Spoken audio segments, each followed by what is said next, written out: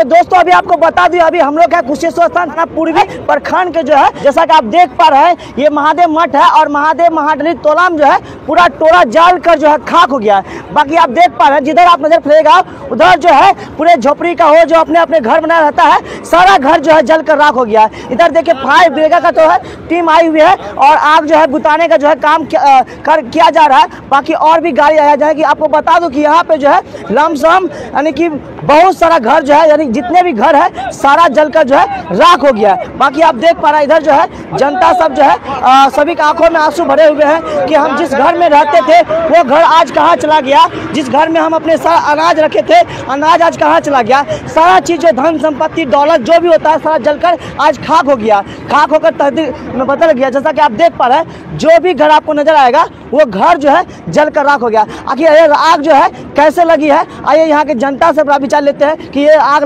लगने का क्या कारण था? कैसे लग गया? है यहाँ के लोगों से बातचीत करते हैं। क्या नाम हुआ आपका? सुनील राय। यही गाँव के हैं? नहीं चलिए आपने आप यही गाँव के हैं? हाँ। क्या नाम है? जोगिंदर राम। जब आग लगा था आप कहाँ थे? हम अपना घर पर थे। कहाँ? यही घर आप लोगों का? हाँ। हाँ। बिजली से लग गया। कैसे आग लगा?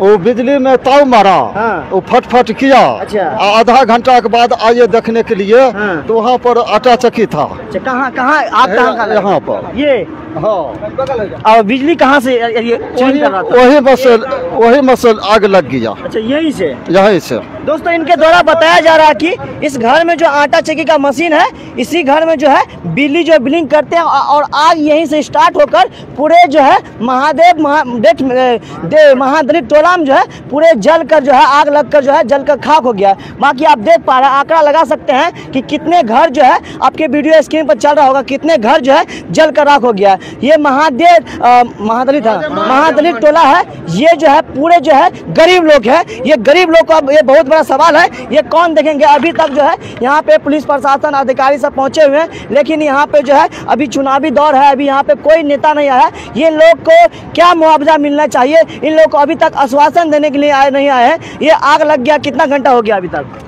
दो घंटा। दो घंटा हो गया अभी तक कौन कौन आए हैं अभी तक तो जिला परिषद। आए हैं और जो है पुलिस प्रशासन अनुसार तो पानी उन्हें देने वाला बंद कर बुताने वाला वो सब आया है। अच्छा कैसे आप लोग जो है आग को काबू में कैसे किए? थे अभी जो इतना शांत दिखने को मिल रहा है। अभी आग आग साफ़ आग जो नरम हुआ है वो पानी की वजह से हुआ है आग पानी वाले आई हाँ? आया तब। लेकिन ये जल गया। दो चार घर में उधर लगा था तब आया। अच्छा। हाँ। बाकी आइए वो दृश्य दिखाते हैं क्या कुछ जो है जल कर देखिए ये वो घर है जिस घर से बोला जा रहा है कि इसी घर से जो है आग लगने की जो है आ, आ, देखे गए थे और जो है पूरे महादेव जो मठ जो है जल कर राख हो गया। यहाँ पे देखिए जो है भूसे का जो जो घर था इस भूसे घर में जो है आप देख पा रहे होंगे कितना सारा आग जो अभी तक लगा गया है, अभी फायर ब्रिगेड को जो गाड़ी लगाई गई है और जो इस आग को जो है बुताने का कार्य किया जा रहा है। बाकी आप जिधर नज़र फैलाएगा जो है, उधर आप देख पा रहे होंगे। देखिए पूरे घर जो है रात में तहदीर हो गया है यानी बदल गया है। बाकी आइए वो दृश्य दिखाते हैं कि क्या कुछ जो है लोग जो जनता के जो है क्या कुछ जल गया है। जैसा कि आप देख पा रहे हैं जिधर आप नज़र फैलेगा उधर जो है घर जो है पूरे राख में बदल गया। आइए वो दृश्य दिखाते हैं क्या हुआ? कपड़ा का दुकान था। अच्छा यहाँ पे कपड़ा का दुकान हम लोग घर जमाई थे यहीं पे एगो कपड़ा के दुकान करने रहिए लोन ले ले लोन उठा उठा सर हम तीन गो सारू रहे छियै हमरा ससुर के लड़का नहीं छै तीन गो तीन गो सारू रहे ते तीनू सारू दुकान करे छी, अलग अलग जगह सब लोन ले ले, तीन लाख, चार लाख, पाँच लाख, सब सर जड़ गए अब हमारे लोन कहाँ से भरबै? ये बताइए, कितना घर होगा? यहाँ सर सब मिला चार से अन्य साढ़े चार सौ घर है लगभग में कह सकते। हाँ लगभग में कह सकते। हैं इतना घर दलित का घर था। महादलित का सब गरीब लोगों का घर सब सर कुछ नहीं बचले सर खाए पिए ले पैसा कौड़ी कुछ नहीं। जितना कपड़ा पीने के सर इतने कपड़ा पीने देखिए दोस्तों आपको ये दृश्य दिख रहा होगा जो लोग जो है अपने शरीर में जो वस्त्र पहने हुए हैं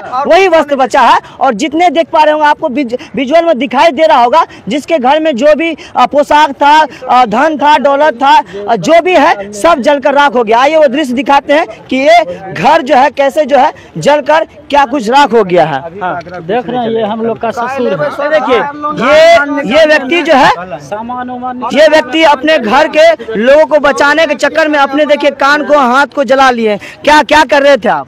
गाय गाय आग लग गया था ना घर में। तो गाय था घोर में। तो वो टाट तोड़ के आ गाय छलमला रहा था। उसमें हमू भी जल गए लेकिन माल के निकाल लीजिए और, और कितने लोग इसमें मतलब संलिप्त हुए हैं लोगों को इस आग में?